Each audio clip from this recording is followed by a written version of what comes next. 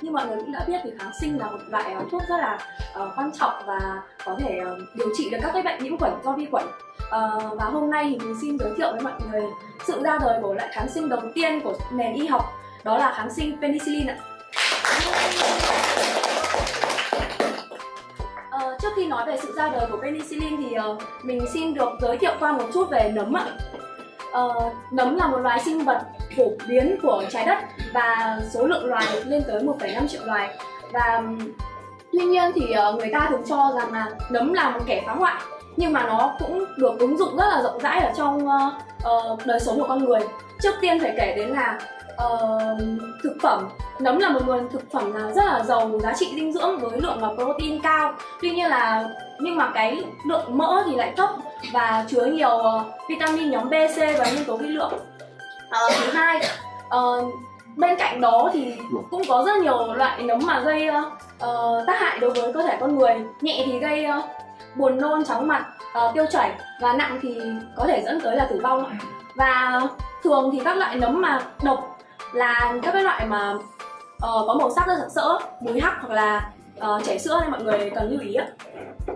Và điều đặc biệt hơn nữa là một số loài nấm có thể được dùng để chiết xuất ra các loại ờ, enzyme, uh, hormone và đặc biệt là kháng sinh ạ. và cái penicillin kháng sinh đầu tiên này là cũng được ờ, ờ, chiết xuất ra từ nấm ạ và để ờ, tìm hiểu được nguồn gốc của penicillin thì ờ, mọi người cùng mình quay trở lại ờ, năm 1928 tại thủ đô London của nước Anh. Ờ, ở đây thì có một nhà khoa học có tên là Alexander Fleming và ông có niềm đam mê nghiên cứu rất mãnh liệt với cả sinh học. Ờ, ông thì thường rất là do dự khi phải ờ, vứt đi những cái ờ, mẻ vi khuẩn mà nuôi cấy và ông chỉ vứt đi đến khi nào mà ông chắc chắn là không thể tìm hiểu được cái gì ở nó nữa.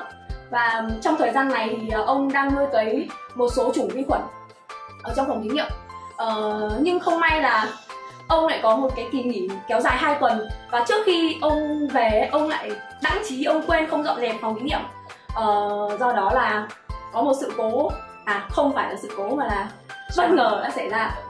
Đó là hai tuần sau khi ông quay trở lại làm việc thì ông phát hiện trên cái đĩa nuôi cấy vi khuẩn của mình uh, xuất hiện một loại nấm mà tại vị trí nấm mọc thì vi khuẩn lại không thể uh, tồn tại phát triển được ạ. Ờ, và ông đã tìm hiểu ra và đây là loại nấm có tên là Penicillium notatum và cái ờ, chất chiết ra được là penicillin ạ. Tuy nhiên thì ờ, trong cái điều kiện hiện tại thì ông không thể tách được cái penicillin tinh khiết ra khỏi nấm và giới y học cũng cho là nấm chỉ để phá hoại thôi chứ không thể chữa bệnh được ạ. Ờ, vì vậy là thí nghiệm của ông đã bị ờ, bỏ ngỏ. Ờ, phải mãi đến 10 năm sau tại Oxford thì có hai nhà khoa học là uh, Chen và Florey hai ông mới tiếp tục cái công trình về penicillin này và các ông đã tách được cái penicillin tinh khiết ra khỏi nấm ạ. Uh, tuy nhiên thì cái lượng penicillin này rất là ít. Ờ, uh, 500 lít chất lỏng nuôi cấy chỉ cho được cái penicillin mà chữa cho 4 đến 5 người đó.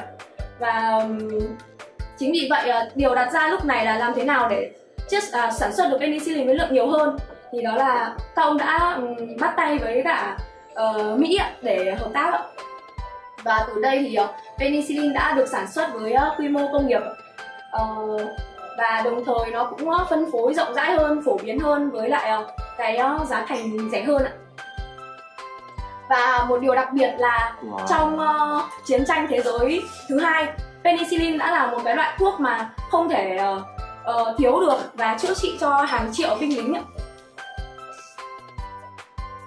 và cũng nhờ cái công trình này uh, ba nhà khoa học đã được uh, đạt cái giải Nobel y học vào năm 1945 ạ.